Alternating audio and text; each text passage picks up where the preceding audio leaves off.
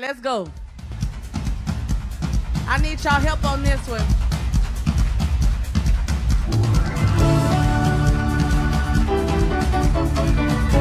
It's real simple. Y'all just repeat after me, okay?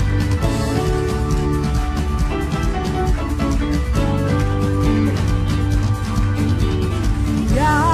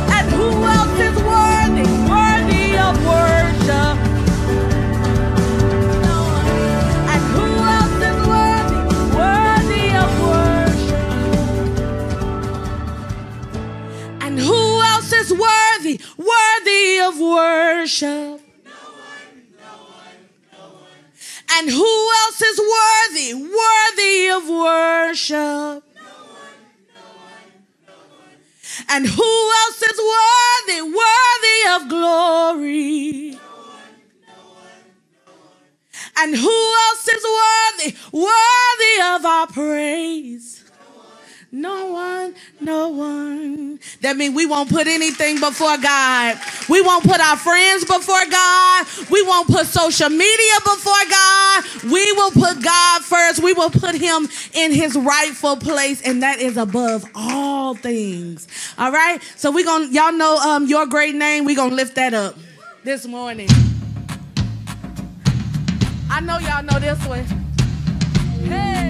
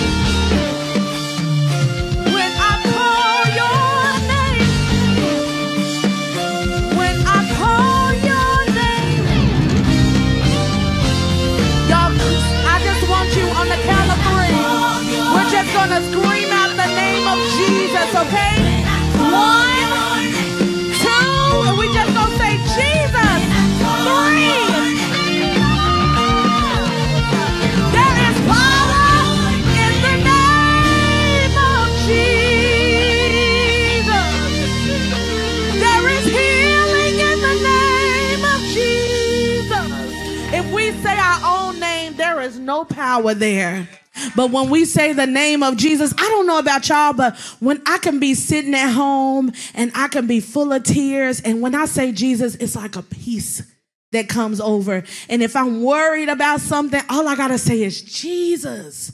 And there is a peace that comes. So I just want to encourage you this morning that if there is anything that you're going through, if you got a test that you got to take, if your back is against the wall because a, a friend talking about you and they said they was your friend, but they really not your friend, I dare you to call on the name of He is a friend like no other. He is a he sticks closer than a brother. That's what the Bible says that he sticks closer than a brother. Y'all believe that? I believe that. So we're gonna sing this last one, and it's called Reckless Love. One one second. Give me one second. Do y'all how, how many of you believe that God really loves you? There is nothing that you can do that can stop his love. And so this song in the Bible, there's a scripture called Ma- in Matthew 18, and it says that God, he can have, it's he loves us so much. It's like he has 99 sheep. And if one is gone, guess what? You think he gonna stay with the 99 or is he gonna get the one? He going back to get the one. So we are never too far from God that he will not leave 99 and he will come and get us. He will come and see about us and he will bring us back into him. So there is nothing that we can do. There is nothing that we can say. There is nothing that we've done. There's nothing that we have said that will keep God from loving us. Friends turn their back. They say one thing and they go they do something else. But God, He promises to stay with us. He said He'll never leave us nor forsake us. So this song is called Reckless Love. And just begin to close your eyes and lift your hands and just begin to think of the God's love. We want to invite him into this place. You're never too old, young to worship him. You're never too young to lift him up. So we're going to lift up reck- reckless love. All right? Hallelujah.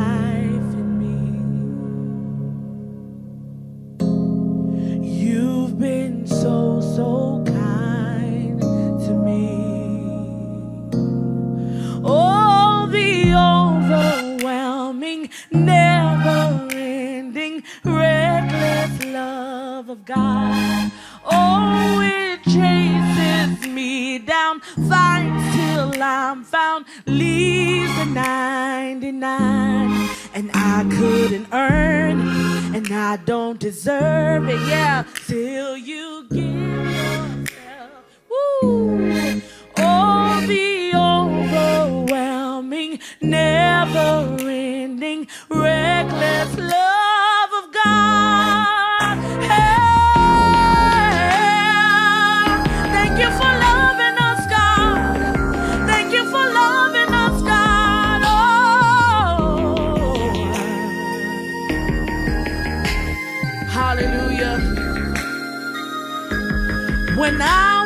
your foe.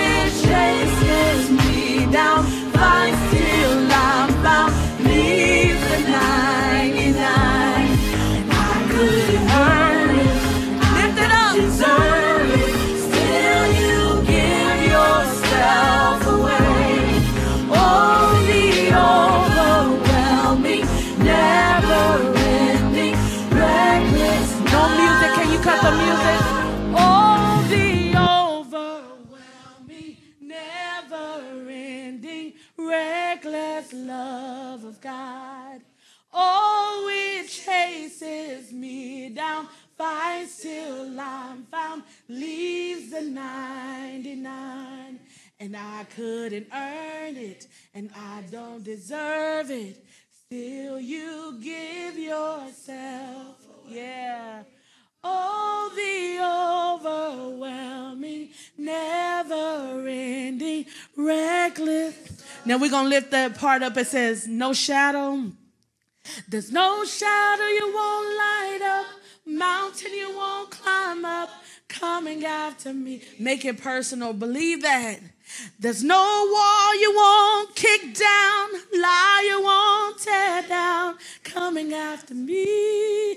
No shadow you won't light up, mountain you won't, coming after me.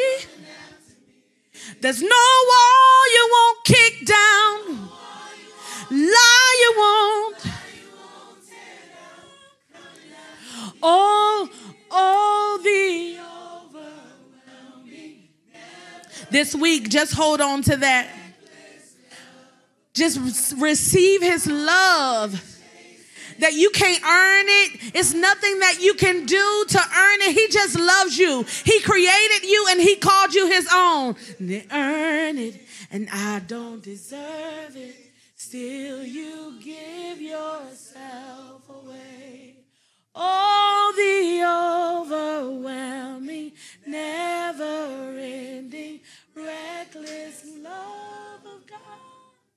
Do you believe that?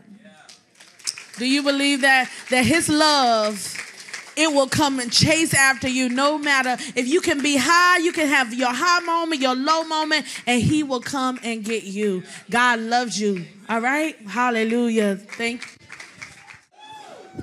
What's up, high school? Hey, I want y'all to do me a, a, a favor. I want y'all to give a warm welcome to Generate. They are in the building, our young adults. Y'all give it up for Generate. Is trying to airdrop me something? No, I declined. I declined.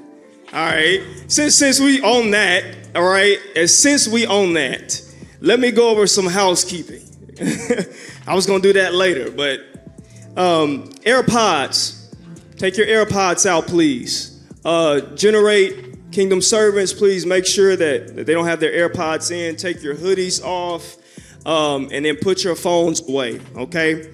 Hey, listen up. So this past Wednesday, I told our, our we had a small group Wednesday, and I was telling them the statistics on the use of social media. Okay? And one of the statistics that I found was that the more you use social media, the more likely you are to be depressed, feel lonely, and even all the way up to, to feeling suicidal. And you can research it yourself. Okay? The more you use social media, the more you're on your smartphone, the more likely you are to feeling lonely. And if I were probably to show, uh, if I was probably, to, if we, if we expose you, it's probably some of you, you feel lonely. Check your social media use. But we talked about what, what's the solution? Not elimination, moderation. Okay? Uh, uh, uh, just small increments of it. You don't have to get all the way off of social media, but watch your use. Okay? Talk to your family, talk to your friends. Don't just be chilling with them and, and you know, all on your phone and stuff like that. You're not present. Talk to them. See how they doing. See how their family doing, okay? All right, you can look at the statistics on that. We care about you, and that's why I'm sharing that with you. Okay? Uh, did you guys enjoy the tailgate? Those who were there? Breakfast tacos and smoothies. Thank you, Kingdom servants, and everybody for being here and, and, and serving that. Um, this month has been a good month. We talked about trust, and we hope that you have learned um, to trust in the Lord and that faith is measured by your feet, not your feelings. And so you know you trust God by the way you walk, by the way you talk, by the way you live out your life. Can anybody tell me what was the key verse of this month? Three, five through six. Somebody paying attention. Proverbs 3, 5 through 6. Trust in the Lord with all your heart and lean not to your own understanding. In all your ways, acknowledge him, and he shall direct your paths. Trust him, he's dependable. Okay? Uh, who went to our Ladylike event? Stand up if you went to our Ladylike event. Hey, we only two of y'all here? Stand up. Yeah, okay. All right. All right. You can sit down. You can sit down. You can sit down. All right. Yeah. Thank you, Miss Natalie. They had a good time. Y'all went to group dynamics, right? Hey, yeah. It went to group dynamics, a good, good fun activity, building team and working with each other. I bet it was fun. Get active. Um, we had a good student leadership meeting today. We was talking about the Pentateuch. You know, we're learning how to read the Bible in, in observation, interpretation, application. A lot. We tell people, go read the Bible, go read the Bible. But to be honest, people don't even know how to read it. We come and we approach it, and it's like it's all spiritual and stuff. And, you know, we read it like very strange sometimes. We get way too spiritual. Okay, and so we're teaching our student leaders how to read the Bible, how to understand it. You know, we, we have 66 books in the Bible, and they all matter. They all matter. A lot of Christians, we just neglect a lot of the scriptures, but all of it is inspired by God and is useful for you in your life. It's relevant. It's relevant for today. Okay? What else do we got? Next month is Stranger Things. That's the theme. How many of you watch Stranger Things? Raise your hand. Okay, okay. Stranger Things, all right? So that's that's the theme. And then the verse is Joshua 1 9. Who knows Joshua 1 9? Anybody? Your Bible do? Okay, I'm glad your Bible do know what Joshua 1 9. Be strong and be courageous. Yeah. So the key word is to be courage. It's to be courage. We're to be talking about courage all month. And uh, we live in a scary world. It's a lot of strange things going on. Okay, we, we there's gender confusion. we don't know if we male or female. There's a lot of confusion. It's some scary, it's some strange things going on. If you don't see that, you blind. Okay, so we're gonna talk about having courage and how to live in this strange world. Um, you need to join us on Remind too. Let me pull that up. OCBFY to 81010. Okay, so text at OCBFY to 81010. Okay, thank you. Next week. All right, so next week, starting off, is uh, bring a friend. So we want you all to invite a friend. Now, they may say no, but we want you to extend the invitation. You can't control what they say, but you can control what you say. Just say, hey man, we got high school service. Let them know it's high school only. You know, people get high schoolers and they don't want to be in the building with middle schoolers no more. So let your friends know, let your cousins and whatever, let them know to come, bring them, um, give them a ride. Follow us on social media, Next Level Youth W3. Follow us on social media. We're on Instagram, Facebook, and TikTok. Next Level Youth W3. Am I missing any announcements? Yeah, we got a TikTok. Yeah, yeah, yeah, we got a TikTok.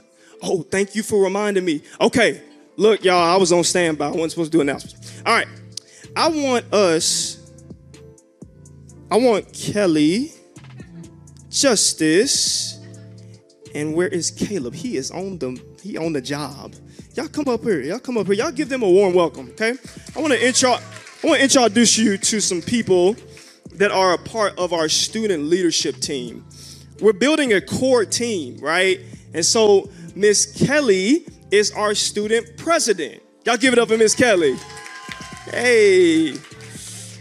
And Justice and Caleb are the vice presidents. Caleb's the first vice president, Justice is the second vice president. So they're working within the core team to help build uh, a better student leadership team so that we can impact um, in whatever ways we can, okay? So thank y'all so much. Y'all congratulate them. Y'all talk to them.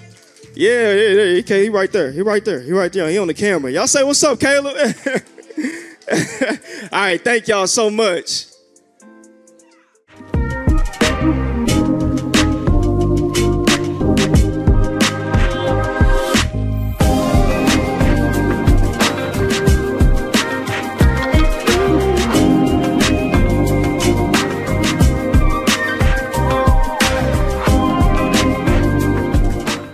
Me just kick off with a word of prayer. We just jump right in. He just prayed, I'm going to pray again. This is for the word. Heavenly Father, thank you. If you don't do anything else, you've already done enough by sending your son, Jesus Christ, to die on the cross for our sins. Help us to be about it. You chose David at 15. You don't have to wait until we're adults. You can choose us when we're mature. So help us to continue to mature. Help us to not give way to the culture. Um, and help us to go in the direction you're calling us to go because it seems to me that the, the life maker knows more about life living than we do. So it's just simple logic that you know what you've created us to do. We love you and we honor you in Jesus' name. Amen. It was 2006. I was with the San Diego Chargers in training camp, played five years in the league. In 2006, it was San Diego. They're LA Chargers now, but in 2006, the San Diego Chargers, and I remember it was brutal. Okay, so football back then, they care less about your life. So there was no rules, no regulations. We practiced two, three times a day, full pads. Um, we didn't even know what day it was by day four because we thought every practice was a different day, but we had three in one day. So three days went by and we were still stuck in the same day. You know what I mean? So we were frustrated. So it was tough. We would get up at 6 a.m. We wouldn't get back to our hotel rooms till 9 p.m. We would practice, have meetings, then breakfast, then practice, have meetings, then lunch, then practice, have meetings, then bed. And we had to do that for six weeks straight. So by day five, dudes was talking about quitting, retiring, going home, calling their moms like, get the bed ready. I'm going to be in it soon. Coach going to cut me So I don't know how long I can be here. There was no light at the end of the tunnel, and if there was a light, it was just the light of an oncoming train because it was just rough. And I remember being there, it was day seven. I remember day seven like it was yesterday because day seven was garbage. You hear me when I tell you we practiced like garbage? Maybe not garbage, we practiced like garbage. It was terrible. It was bad. I remember going out there. Anybody know the name of LaDainian Tomlinson? Anybody football people y'all know? Maybe too young. Yeah. Well, he's one of the greatest running backs of all time. He fumbled like three times that day. We were like, yeah, something's wrong. We had another guy who likes to hit anything moving, just, just he, he just a hitter. He just wants to hit. He wasn't hitting anybody that day. We were like, yeah, today's a little different. Our quarterback at the time was Philip Rivers. He was throwing interceptions that day. We said, yeah, this is a little different. Everybody was just practicing like garbage because we were feeling ourselves. It was hard as training camp. And I looked at the head coach and I saw that he had taken notice, but he didn't say a word. He was just rubbing his chin, watching us practice like garbage. Just rubbing his chin, looking at it. We were out there just complaining, mumbling, groaning, whining, because it was rough. What we were going through was just tough. That was just the nature of what it was. And I remember day eight like it was yesterday because I thought we had got away with it until day eight showed up. I remember sitting in my chair, slouched, eyes halfway shut, just trying to make it. And you could hear the grumbling, groaning, and complaining going across the room. Every man in there was just like, yeah, bro, I'm not sure about this. And then the door slammed shut and everything got quiet because the head coach had just entered the room and we had mad respect from this dude. It goes by the name of Marty Schottenheimer. Y'all don't know him, but he's kind of a Hall of Fame type coach. And he came in front of the team, and we knew this day was different because he just paced and he looked for five minutes of no talking. He just paced and he looked. And he took the time to look at each individual player right between the eyes, almost as if to see what we were thinking. And I remember sitting up and leaning forward because I was curious at what he was going to say. And then finally, he began to speak. He said, I did not just cast a net in hopes that the great players that I needed to win a Super Bowl would just so happen to randomly fall into it. He said, That's not the way I work. You were hand selected, cherry picked, and chosen by none other than myself. And I'm Marty Schottenheimer. I don't make mistakes with who I choose. I watched your game tape beforehand. I knew exactly what you would contribute to this team. I placed you here for nothing less than greatness and total success with the 2006 San Diego Chargers. I've given you a playbook that's been tried and tested. I know it works. It's worked over the course of my career. I've given you coaches who can teach it to you. I've given you a place where you can execute it. Most importantly, I've given you a uniform with your name on it. I've given you everything you need to achieve greatness. That's the reason why I drafted you, the reason why I traded for you, the reason why I'm paying you, the reason why I put you in this place is only for greatness, not for mediocrity, and I won't allow you to settle for it. He said, But you got to do something for me. I can call you to greatness. I can give you a book that's great. I can give you coaches that are great. I can give you a uniform that's great. But if you don't maintain the integrity of everything I'm presenting to you, you'll nullify the greatness that I chose you for. So I, have given it to you, but you got to go get it in order to have the experience of it. I know it's hard. That's what training camp is. Training camp gets you ready for the season. That's just a part of what life is. I know these things aren't easy, but it gives you strength and perseverance for where you're headed and where I'm taking you. You can't be great if you're not willing to go through the hard stuff. So stop whining, grumbling, groaning, and complaining. Strap on your pads, slip on your helmet, and meet me on the 50 yard line because the time for your greatness will, in fact, start right now. I'm kind of feeling that right now. nobody move, I might come hit you. I can't though, I might pull my hamstrings. So, days are over. I remember that practice like yesterday because we had all of a sudden had the realization that we had been called to something bigger. We had smoke coming out of our ears and fire coming out of our nose. And the, the days before, we were just kind of making it through it because we had forgotten that we were selected by nothing less than greatness. In 2009, I retired from the Washington Commanders. They're the Redskins when I played, but now they're the Commanders. And yo, I was lost. Yeah, Tony Evans' son and all that. Forget that. I was the youngest. I had played ball my whole life, so I was like, yo, what am I gonna do now? Because football was done, so I didn't know where to go, what to do. And so I kind of felt like I felt in training camp, mumbling, groaning, whining, and complaining because times were getting hard. They used to be a bit easier, but now I'm a little bit unaware of what's next in my life. And the Holy Spirit knocked on the door of my heart and he said, Hey, man, you remember that speech Marty gave you back in 2006? I said, Yeah, how can I forget it? He said, Haven't I said the same thing to you? He said, Those that I foreknew, Romans 8, he says, Those that I foreknew, I already predestined to be conformed into the image of my son. Those that I predestined, I already called.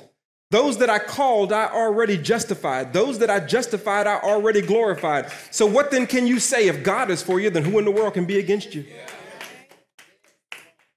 And at that moment, that's when I realized, oh, wait a minute, I have been called, and now my wife and my kids have been called, and you have been called, and your parents have been called, and your future children have been called, and your future grandchildren have been called to nothing less than greatness in the kingdom of God.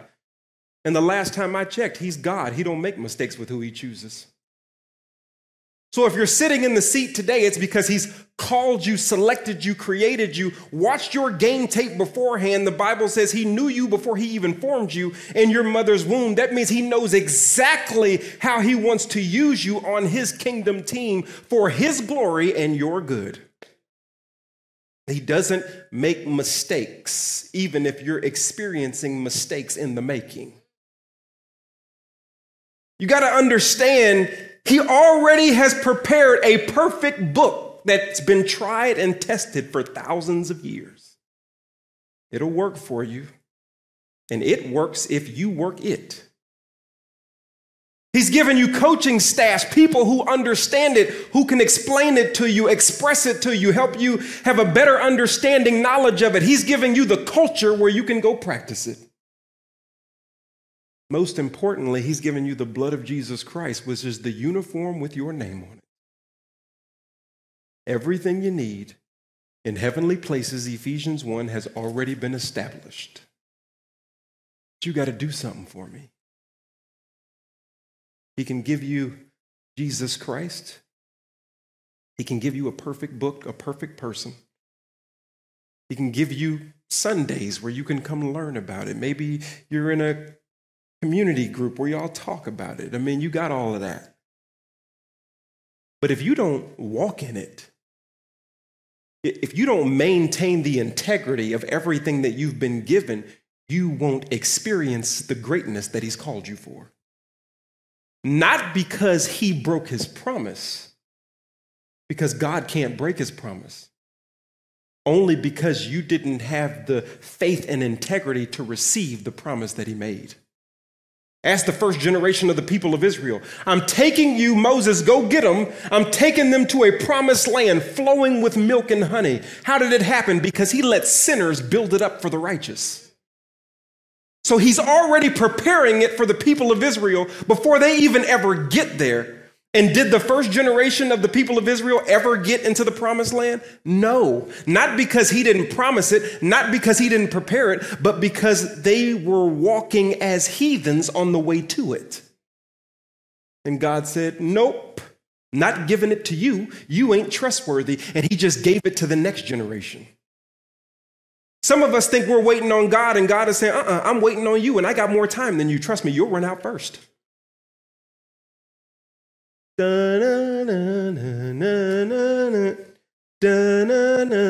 Bloop. Next. Clock is ticking. So, do you get what God has given or not? I'm going to take you back to what you've already kind of gone over this month just for a few moments. The covenant of Abraham, Genesis chapter 12, and I'm about to show you a monster blessing. Monster blessing. Genesis chapter 12, 1, 2, and 3 says, The Lord said to Abraham, Go forth from your country and from your relatives and from your father's house to the land which I will show you. Watch this, and I'm going to make you a great nation. I'm going to make you a great name. I'm going to bless you. I'm going to bless those who bless you. I'm going to curse those who curse you. And in you, all the families of the earth will be blessed. Hey, hey y'all didn't hear me. Abraham, I need you to leave your country, your relatives, your father's house, and go to the land which I will show you. And when you get there, I'm going to give you a great nation. That's your legacy. Don't worry about that. I'll take care of it. I'm going to give you a great name. You don't have to self manufacture it and do a song and a dance so that people know who you are. I'm going to give it to you. And when I give it to you, it actually lasts. I'm going to bless you. There's no greater blessing than a blessing from the one who created you. I'm going to bless those who are on your side. I'm going to curse those who are not on your side. You know, them haters you're tired of, don't worry about that. If you're walking with God, He's going to part the waters for you. The ones who are supposed to be there will be there. The ones who are not supposed to be there will get kicked out. Because God is your fullback. If you don't know what that is, that's the blocker for the running back. He goes in there, opens the hole so the running back can get through. Intercessor, boom, everybody get out of the way. That's not on her or his side because we're going somewhere. And in you, Abraham, all the families of the earth will be blessed monster blessing. And he has a blessing for you and greatness for you. But first, before you get to all of the good stuff in the passage, the great name, the great nation, the legacy, I'm going to block for you. I'm going to open these things up. I'm going to show you all. All of that's nice. And we want the good stuff. How many of us want to be blessed? Raise your hand. You want to be blessed. If you don't, if you ain't got your hand up, you're lying in church. Don't lie in church. And what's the blessing? A blessing is the favor of God to me, right? That's half of a definition. A blessing is the favor of God to me so that it may flow through me. God is not interested in blessing a cul de sac or a narcissist who just wants to use him as a step stool to take them higher. You ain't God, and neither am I. He wants to use you and bless you so that through you, the nations of people can be blessed. And there's a big blessing that God wants to give, but He says, but first you got to do something. You got to walk a certain way. Abraham, go forth from your country, from your relatives, and from your father's house. Everything you're comfortable with, I actually need you to leave that behind. The way that you think about operating, I need you to leave that behind. The way that you think and how you, uh, you your outcomes, I need you to leave that behind. What the culture has taught you, I need you to leave that behind. If you're not willing to walk the way I walk, I got a lot of blessings for you, but I need you to leave your entire comfort zone. You see, Abraham had already settled in a place called Haran. Genesis 11, 31 and 32. It says, Abraham settled in Haran, but God was taking him to Canaan. Okay? So that lets me know something. That just because Abraham was settled doesn't mean God was settled with where he had settled that just because you're comfortable doesn't mean that God's not uncomfortable with what you're comfortable with. It lets me know that when God speaks, he unsettles those who are settled. See, most people think when God is talking, when it's that voice in your head that's telling you what you already want to do anyway, no, that's your voice. That's why it sounds like you. Because we're, we're, we're, we're, built in pride and built in a pseudo narcissism where we're thinking about our desires, our needs, our wants, where we want to go, we're always using our voice to make God forge his signature on our desires. Yeah, God, I really want to do this. Oh, yeah, I can hear myself talking to myself. That must have been God. That's not God, it's you. Then how do you discern God's voice? Well, Abraham had already settled, and then God's voice came and said, Get unsettled from the place you just settled. In other words, when God speaks, it's an unsettling voice. God is not thinking what you're thinking. The Bible says in Isaiah 55, as high as the heavens are above the earth, are his ways from your ways, his thoughts from your thoughts. He's not thinking what you're thinking, he's blowing your mind from what you're thinking.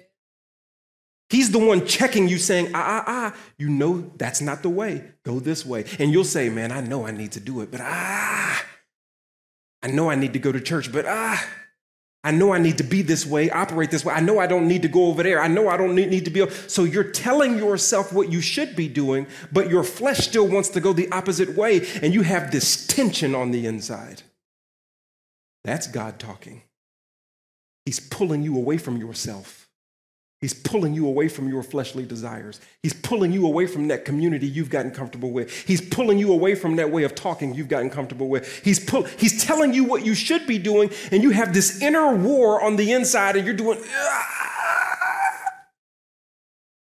and you have to decide do I stay comfortable without my blessing? Or do I get uncomfortable and get what God has? You cannot have them both. You, you're going to have to, I know what I should. I, hard thing. Paul says in Romans 7, what I do, what I don't want to do, I end up doing, and what I know I need to do, I don't do. He has this conflict. God creates a conflict in you. Make a little statement here. If you have no conflict, if, if they're, you just can go left and you just over there just you know what I'm saying? You just, you just hanging out. I don't know if that looked rhythmic. I don't care. I'm preaching right now. I'm not, I'm not trying to dance. If you have no conflict, then you have to wonder whether you have the Spirit at all. If you don't have the Spirit, you ain't saved. Okay? Those who believe, Ephesians 1:13, are sealed by the Spirit. So you can't be sealed and get unsealed. God is not an Indian giver. So if you have him, you have tension. If you don't have him, you don't have tension. Those are one of the ways that you know whether you're saved or not. One of the evidences of your salvation is tension provided to you by the Holy Spirit.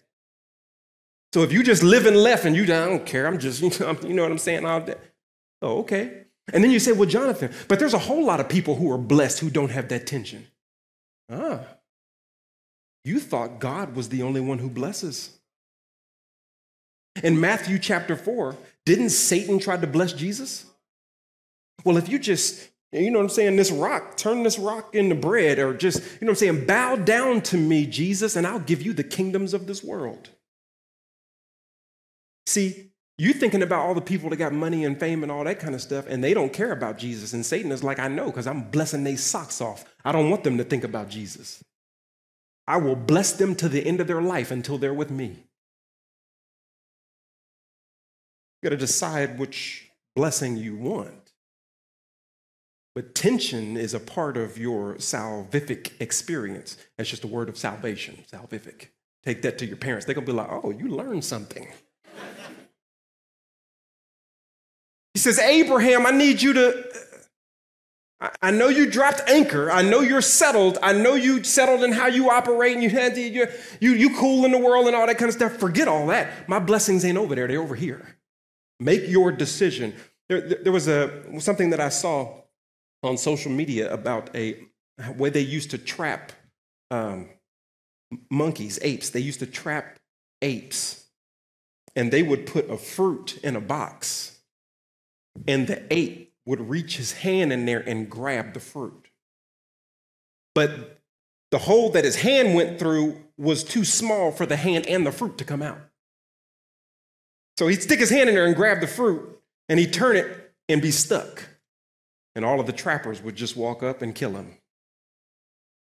And he would see the trappers, but he wanted the fruit. So, so he's yelling, ah, ah, ah, hey, hey, hey. you know that I don't know how to do it, but you know. he's yelling, but won't let go of the fruit. No, no, don't kill me, don't kill me, don't. Drop the fruit, dummy. Oh, that's us. My desires and what I want, my thoughts, my will, my way. And the enemy's coming. Hold that desire a little bit longer. Don't let it go and go God's way. Because the enemy knows if he can get you to hold on to what you want long enough, he comes to steal, kill, and destroy. He will destroy you. You have to decide what you want. Many of us are trapped holding our own fruits. How did it start in the garden? Eve put that down. Trapped holding fruit that she shouldn't have been holding. Abraham's, leave it. Go to a land which I will show. Go is the smallest word in that passage. How many letters is it?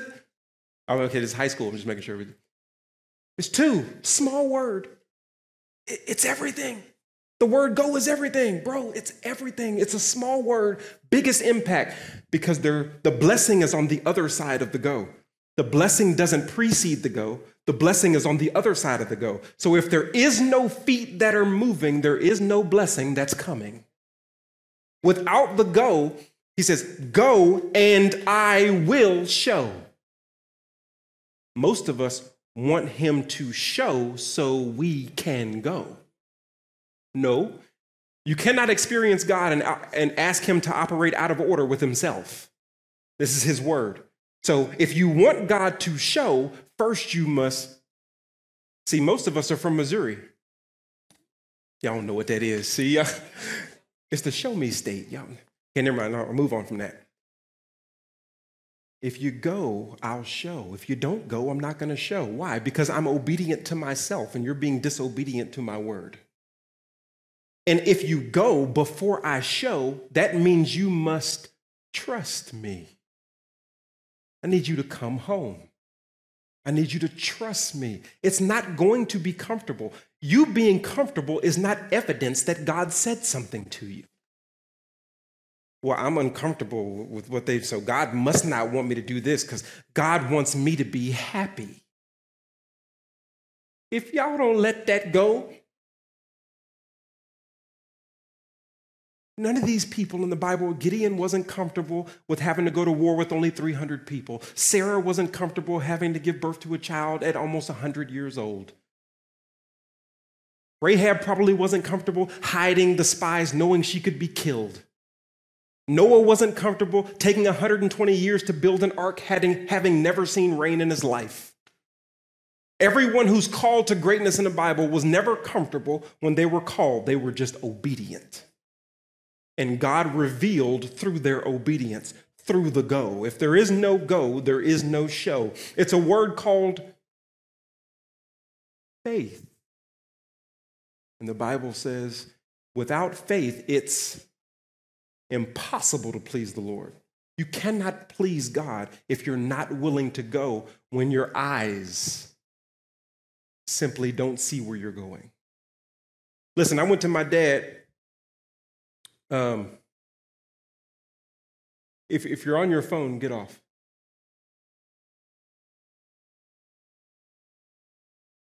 It's the Word of God. Right after this is over, you can get on your phone. If God's talking, you stay off your phone.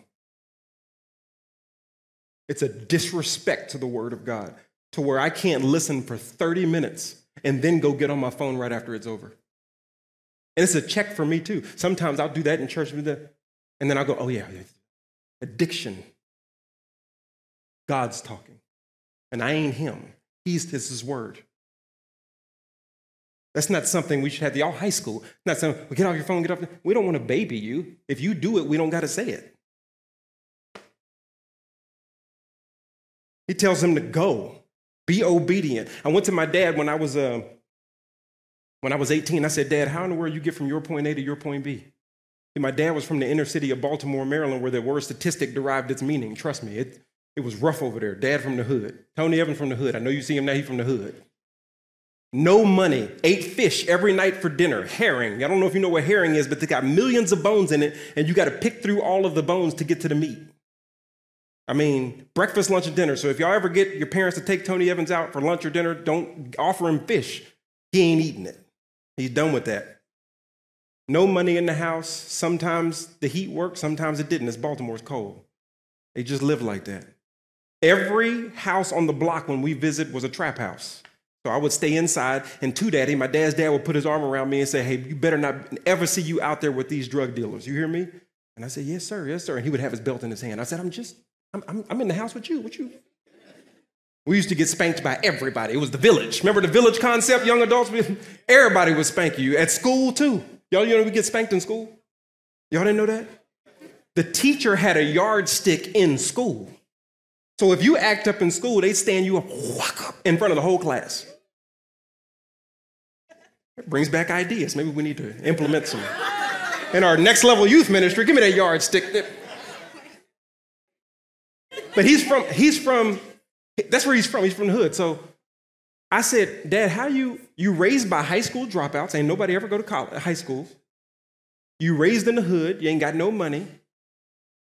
How you? I don't understand how you made this happen. He said, uh, Son, you really want to know? I said, Yeah, I'm 18 and I'm talking to you. Aren't you impressed? Tell me how you made it from your point A to your point B.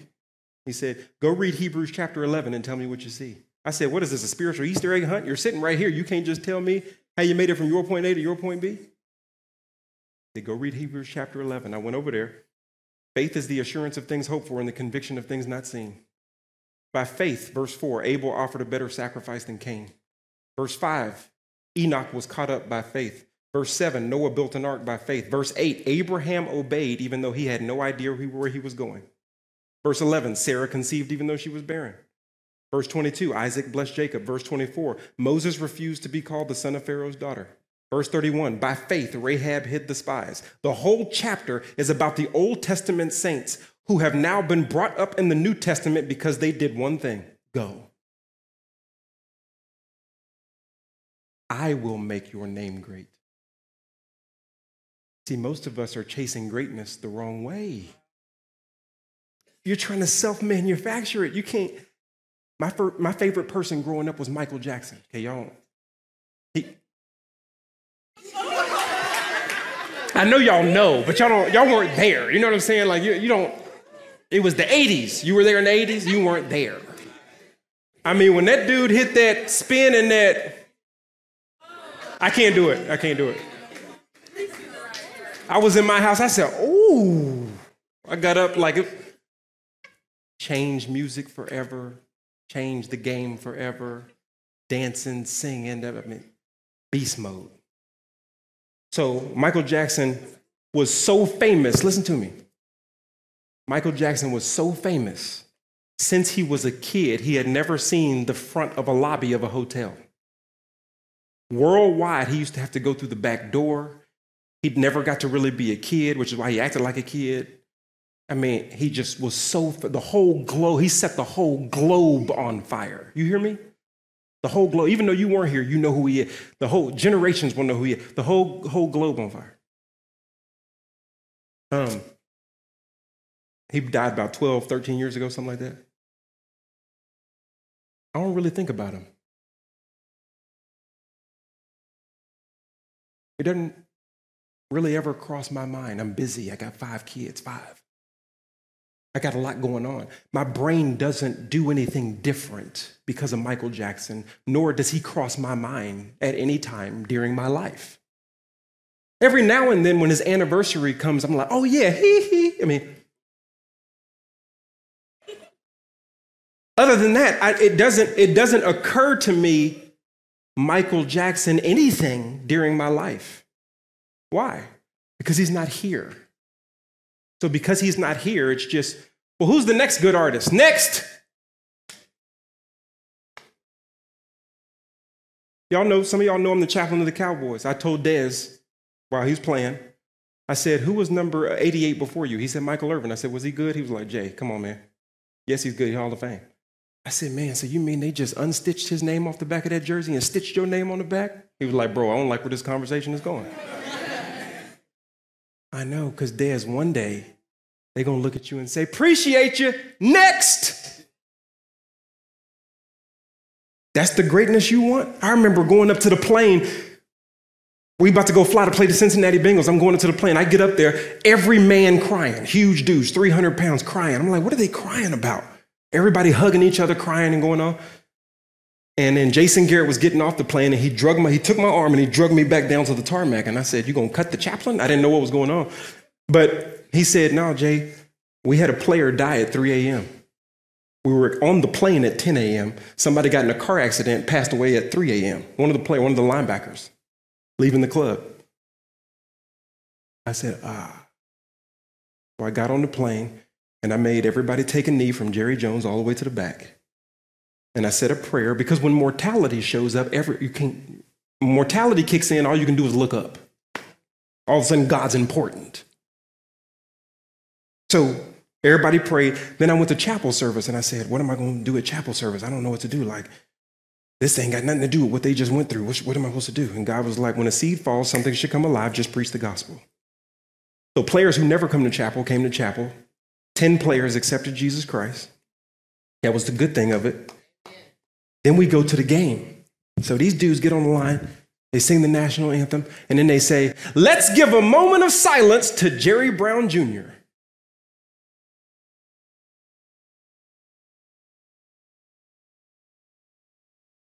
All right. Dun, dun, dun, dun, dun, dun, dun, dun.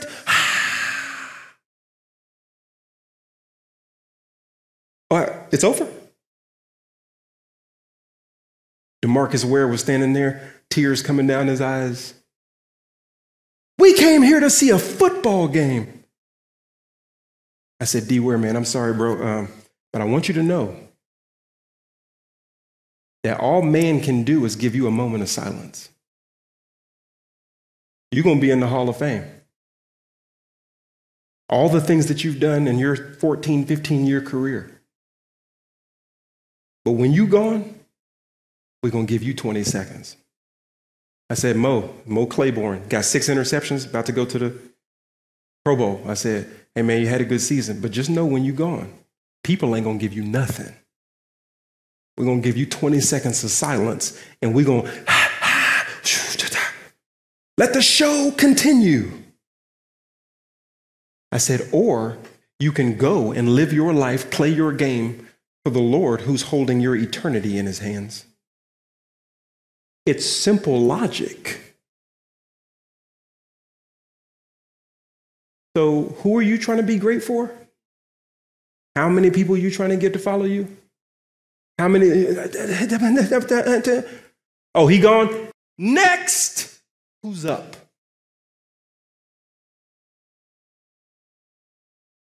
Abraham's. I will make you a great nation. I will make you great. I will make your name great. I will block for you. I will bless you. You want to know the greatness of Abraham? Father Abraham had many sons, and many sons had Father Abraham, and I am one. Like you don't know it. So are you. Let's just praise the Lord. Arms down. I'm grown. I don't do that part. I know I'm, I'm. You mean to tell me we're still singing about Abraham after 5,000 years?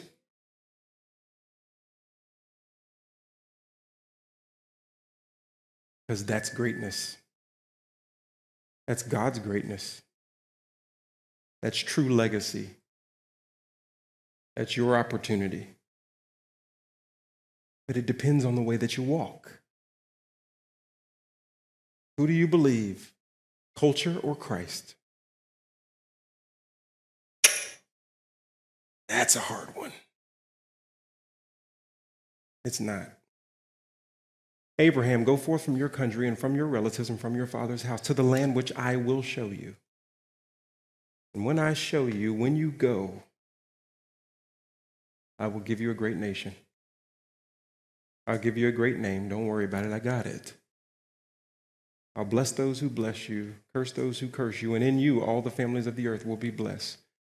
I'll close with this. How did Abraham bless all the families of the earth? Anybody know? Genesis 12, he said, I'm gonna, You're going to bless all the families of the earth. Anybody know? Master, yes. Who? Okay, the 12 sons that came from Jacob, his grandson. Okay, on, on our way.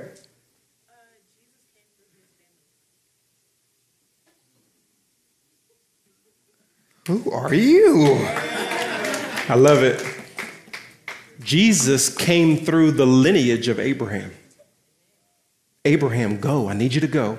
Abraham, when you go, I'm going to bless you. You're going to have a son named Isaac. Isaac is going to have a son named Jacob. Jacob is going to have 12 sons that became the nation of Israel, the 12 tribes of Israel. And from the nation of Israel, just wait for it, is going to come an Israelite king named Jesus.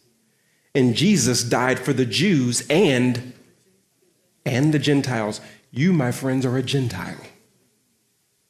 No salvation would come to you if it wasn't for the movement of Abraham thousands of years prior to Jesus.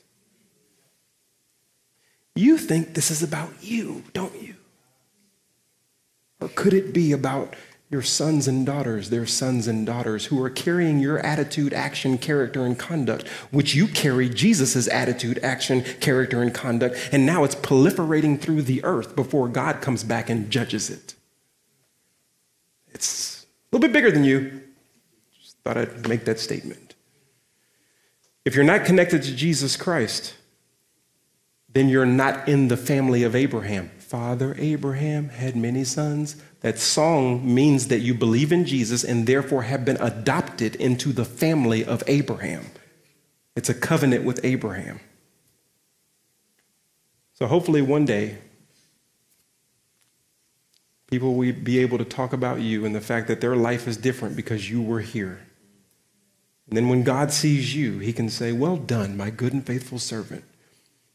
You were faithful over a few things. Now I'm going to make you ruler over many. Don't worry about the 20 seconds they gave you. Here's your eternity.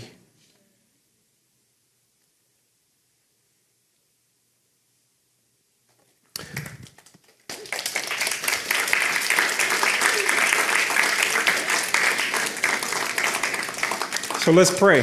I want to pray for you. We've got, how they doing next door? Still talking? Still preaching? Okay. Um, let me just pray for you. If there's anybody in here who's saying, ah, I'm not walking the way I need to walk and I want to change that, you can stand up. I'm going to pray for you intentionally. Um, stand up. Yeah, like if you if you're like, nah, I hear this and I need to go. I want to pray for you specifically and intentionally. Yeah, don't worry about you know people. Worry about your relationship with God. Like I want what God has for me, yo, and I'm not I don't want to just keep putting that to the side. He can call me at 15. And it's important for you to know it's better to be uncomfortable and called and, instead of comfortable and not called. Heavenly Father, I lift up those who are standing in the room who are saying, I need to take another step. I need to go further. May they work not based on rules, may they work based on relationship. May they work not for victory, may they work from victory. They've already been given the Spirit of God. So we pray, Lord, that they would start walking based on the uniform that they have on. Who can say that they play for one team and run, and run the plays from the other team? Help us to run the plays of the team we're on. If there's anyone in here, Lord, who's not saved, Lord, I pray that today would be the day. And so, if you have not given your life to Christ in this room, I'm going to pray a prayer right now. Um, if you're not sure that the Spirit resides in you, there's no tension. You just are living your life. I'm going to pray this prayer. The words don't save you. Your faith, your trust, your belief in Jesus Christ is what saves you. I'm just going to use these words to lead you. Repeat after me Lord Jesus, I'm a sinner, and I'm in need of a Savior. I'm calling on you to be that Savior right now. I believe that you died on the cross for my sins and rose from the dead for me. Save me right now, Jesus. I give my life to you. Now help me to follow you the way you followed your Father. I love you, Lord. In Jesus' name, amen. Thank you guys. Appreciate y'all for having me. Then, um, if you were standing, I want you to go to that altar call, and I need some ladies and men. I need some kingdom servants over there available to pray, take down some information, and encourage our students. If you were standing up, I want you to stand back up. I want you to go to the altar call room because we want to dig into what you are going through We're standing up. I and was get specific. Come on. I'll go over there. You were standing quick. up. I want you to head over there to our altar call room, even if you didn't stand up, but you still need something. This is your moment.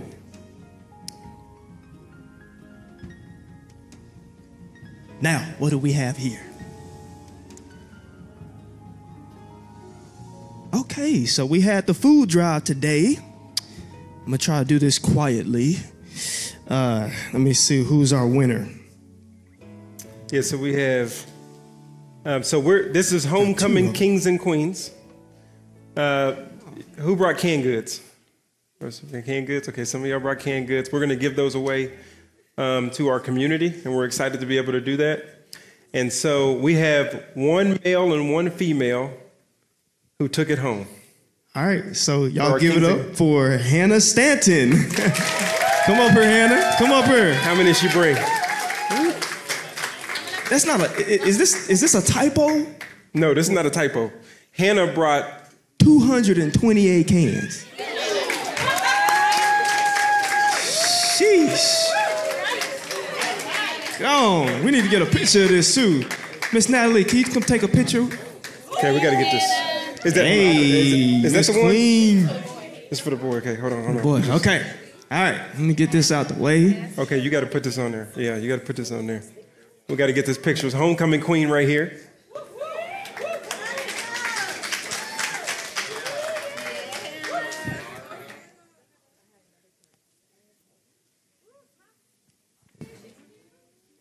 yeah,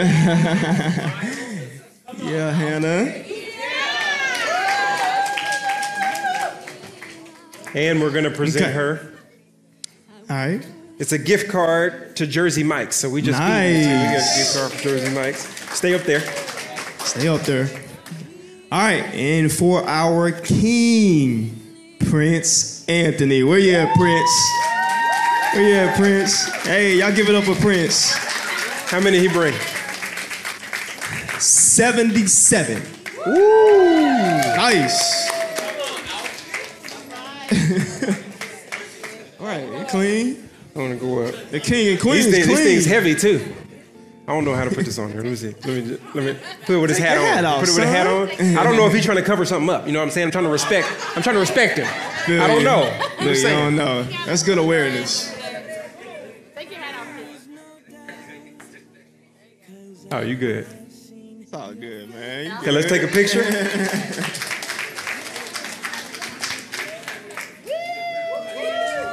and then let me give him Jersey Mike's gift card. Hey, y'all give them a standing ovation. up, They, give they give it to the ovation. community. It's our homecoming king, kings and queens. Thank y'all. Thank you. Thank you guys so much. You guys are dismissed. Good job. Good job. Thank Thank you. you, all. Y'all can take that. It's yours. Get some good lunch. Now, where is uh Dr. Tony Evans? Do we have time for discussion? He's still over there preaching.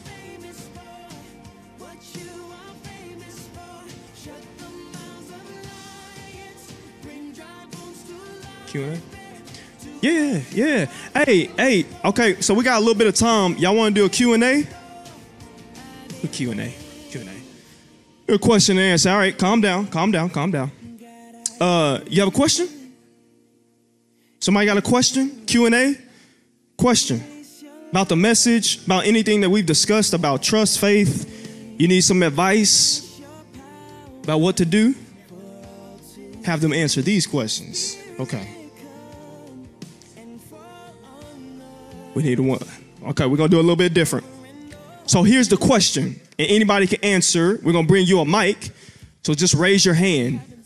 Here's the question How would you describe obedience? Explain it in your own words. How would you describe obedience? Explain in your own words. Anybody want to give it a shot? There we go. Thank you. Compliance with an order. Compliance with an order. Okay. Compliance. Anybody else want to give it a shot? I one up her. To expand on that definition, compliance with an order without question. Hmm, Without question. In the sense of challenging authority, right? Okay. Anybody else? Let me get one generate. Let me get one generate. Uh, let me say this compliance with what kind of order? You can comply with a false order. Is that obedience? Yeah. So obedience to the obedience to the false is automatically disobedience to the truth. All right. Still preaching. All right, let's get a representative from Generate to explain in your own words obedience. Are you good? No, come on. Go ahead, sis. It's just adding on to that, but it's obedience whether you like it or not. Because a lot of times we're not going to like what the Lord says, and we're going to want to have conversations about it. And Right. regardless, we're just supposed to do what He says. So Good. Period. One of the things he talks about in Deuteronomy is he tell them obey because it's for your own good. You know, God doesn't. You didn't add anything to God for you to obey. It's for you. it's for your own good. God's gonna still be God. He's still gonna be on His throne. He good. It's for your benefit and your good. Your best benefit is to obey God. You can test it too. See what happens. Okay. Question two. How do you know if what you're hearing is God's voice and not your own? Ooh. You want to talk about it, Gabby? You want, you want to talk about Kelly? Come on, come on, take it. Oh, okay. Yeah, yeah, come on, come on, come on. Come on. Yeah. Um, so basically, what Pastor Jonathan said was um, our voice tells us what we want to hear, basically, and God's voice tells us something out of the ordinary, something that we usually wouldn't think. Hmm. Okay, we got a mic, mic over here. How do you know if what you're hearing is God's voice and not your own? I have a question to expand on that. That's Okay. basically what if what you think is in agreement? Like what if what if after like you spend some time with him and like you Mm-hmm. start to think not think how he thinks, but like he impacts what you think. Then how do you differentiate? Then you- you're in alignment. But how do you know? as as long as it's consistent with God's word. If if you're if you're consistent, the thing about the Bible is it doesn't give us every detailed answer for every single step. But it gives us general principles that you can apply to whatever area of life. Okay? So as long as it's consistent with the word of God, then you don't have to question it. You pray about it and you say, God, I believe that this is what your word says. And then you go, I think God will still bless that. okay. Mm-hmm. You'll also know by your peace, um, and God will also give you confirmation. He'll show you that you were right, that He was right. Yeah, Right? it's good. Good. All right. Anybody else? Um, how do you know if what you're hearing is God's voice and not your own? Okay, we got another one up here. Come on, Miss Natalie. Let me get a generate after this to, to help answer this question. Pastor Jonathan said that when it's like something that shakes within you, like I would say a godly catalyst for change. So like something that you know that you have not heard before, like Kelly said, something that is like a breakthrough and like something that you know that you can expand on and like God will help you to expand on. Good, good, good, good. Anybody from Generate want to help answer that? Provide some uh, age experience for the young people.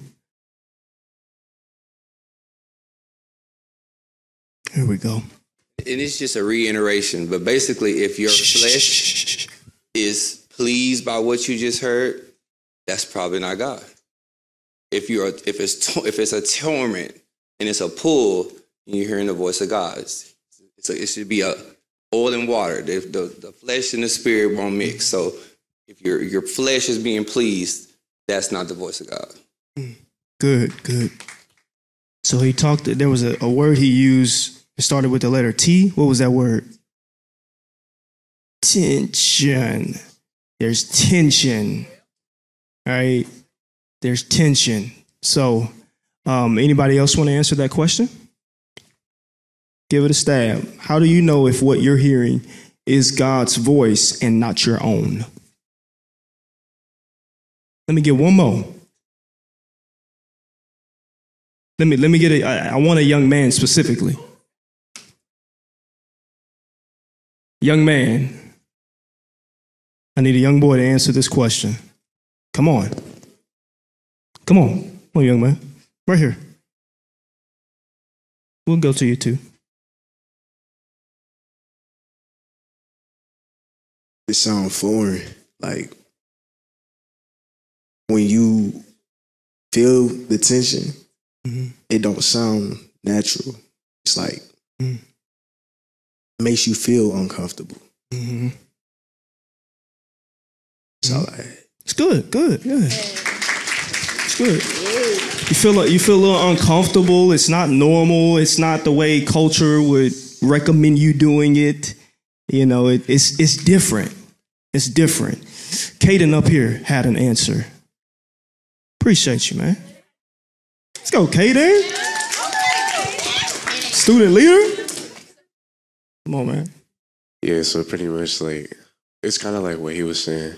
How like if it's a decision, if it's a decision that uh that you're more comfortable with, then it's not from. It's like it's like you rather than it being from God. Good, good. So what I'm hearing is discomfort. There's some discomfort. Good, good. That it? Oh, and also like, and also if in conflict, if like if your mind is in conflict with you too as well, you know, Mhm. because sometimes your mind can be saying one thing while uh, while God is actually trying to te- uh, talk to you in your mind. So Question number three Has there been a time in your life when you had to let go of a place that was comfortable? How did that make you feel? Come on, Jacob. Y'all be quiet. Pastor's about to speak. So I would say last year when I went to public school for the first time, I had been at this school basically my entire life. So I felt like I just said one day, just what my dad was telling me, like, well, do, do you, do you want to go to school with your uncle and learn from him, do stuff like that? And I just said yes, and I just had that trust. But being in public school, it's just a a complete 360 from what I was taught here. And I believe that with my background, that really helped me. And it's helped me go through public school. And if anybody else is struggling or has those moments, it's always about the foundation. And I thank my parents and the Lord for that and my school. And it's really helped me. So, yeah. Good, good. Thanks for sharing that, man. Uh, Desiree had one over here. Desiree.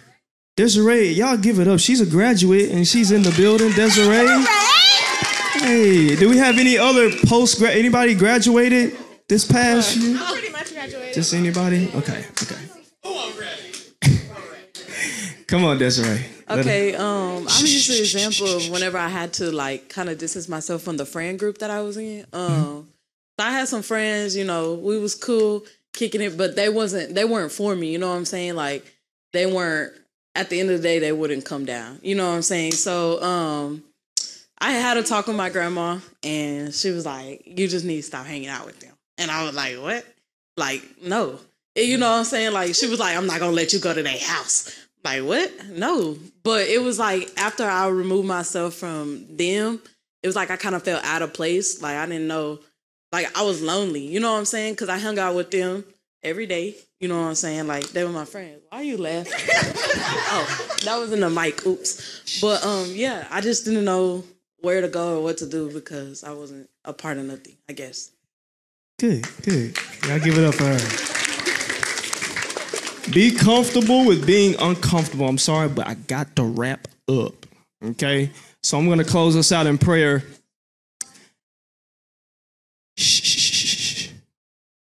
Father, we thank you for the message that was preached. We pray that you would replenish Jonathan, Pastor Jonathan, as he has poured out. May you pour into him. We thank you for um, Miss Shan, am I saying it right? For leading us in worship. May your favor be upon her as she leaves here. We thank you so much for this time that we have shared together with one another. We pray for every student that you would give them the strength to go. Sometimes it's hard. Sometimes there's a, a lot of voices in their head the voice of the culture, even sometimes the voice of parents and the voice of friends. Is so many voices. But God, I pray that they would focus on your voice. That even you would speak through their friends, you would speak through their parents, that you would speak through even their teachers, even strangers, as you have done many times with me. That you speak to their heart, God, so that they may go and claim and, and, and the promises that you have promised them. May your favor rest upon every child in this room. May you protect them. May you bless them. May you keep them in perfect peace as their mind is stayed on you. Thank you, Jesus, for everyone. May they be blessed going in, blessed going out. In Jesus' name we pray. Amen. Well, hello, and thank you for tuning in to our Next Level Youth online services. My name is Isaac Shepard. You can find more youth content on our Facebook and Instagram at Next Level Youth W3. Also, don't forget to tune in to Dr. Tony Evans every Sunday at 11 a.m. on our OCBF Church, Facebook, and YouTube. Thank you, and God bless you.